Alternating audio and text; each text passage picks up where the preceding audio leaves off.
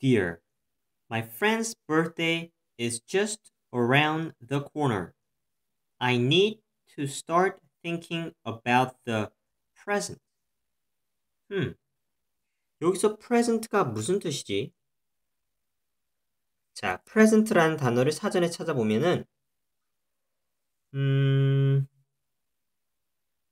아, 그렇지. 현재라는 뜻이 있었지? 그러면 현재라는 뜻으로 이해하면 되겠다. 아직도 영어 단어 찾으실 때 이러시나요? 그럼 주의하셔야 합니다.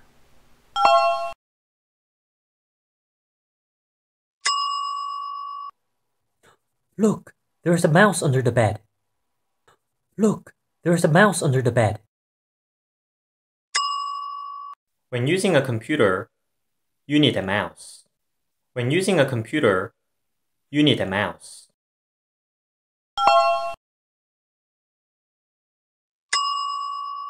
This is my ring.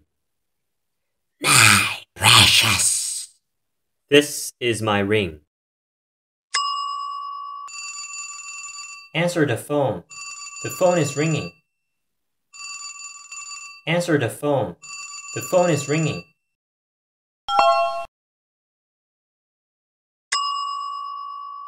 We're going to be eating soon. Clean up the table. We're going to be eating soon. Clean up the table. This is the periodic table.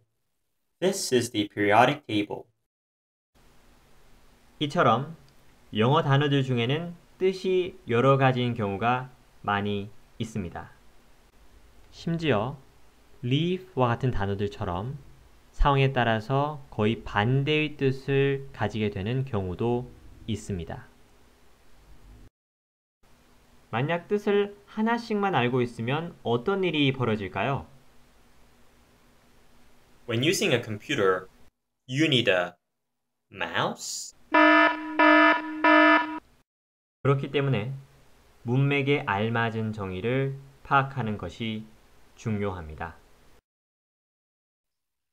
음, 그런데 현재라는 뜻으로 생각하니까 문장이 조금 어색한데. 또 무슨 뜻이 있지? 아, 그렇지. 선물이란 뜻이 있었군. My friend's birthday. 그러니까 친구의 생일 이야기니까 아마 여기에서 present는 현재가 아니라 선물이란 뜻일 거야.